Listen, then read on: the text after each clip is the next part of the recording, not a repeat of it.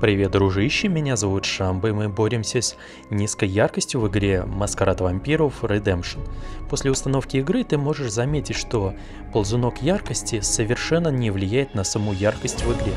А также, пройдя немного дальше по сюжету, ты столкнешься с локацией под названием э, Серебряные шахты, где абсолютно ни черта не видно. Как ты можешь это, собственно, сейчас наблюдать.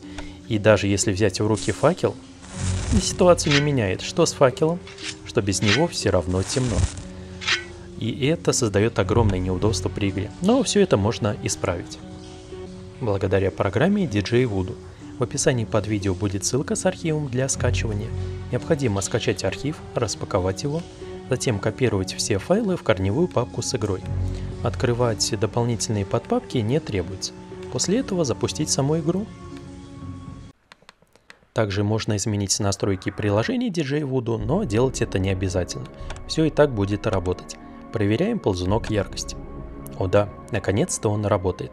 Хорошо, давай посмотрим, как дела обстоят в серебряных шахтах. Сейчас пока что темно, но можно ведь взять в руки факел. И наконец-то, факел работает и дает хоть какой-то свет. В общем, теперь ты можешь сам решить, использовать факел или бегать по хорошо освещенной локации изначально. Надеюсь, это видео тебе помогло, а я и Крестов отправляемся на поиски приключений.